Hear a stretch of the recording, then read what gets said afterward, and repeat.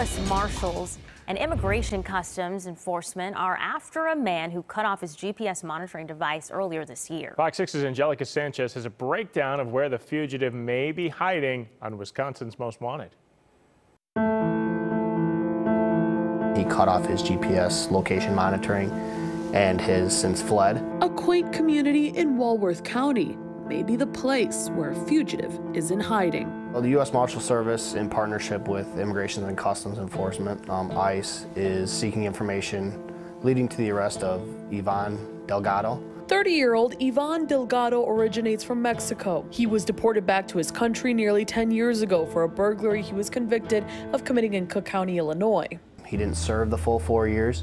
Uh, he was released early and turned over to ICE. But sometime between 2012 and 2020, he came back into the U.S. and made his way to the Dairy State. He was arrested, booked in, and his fingerprints came back to his original charge. U.S. Marshals say he was arrested last fall in Delavan for disorderly conduct. I don't have the full details of it, but it was a, it was a fight. Um, those warrants are still open. Local law enforcement turned him over to federal authorities.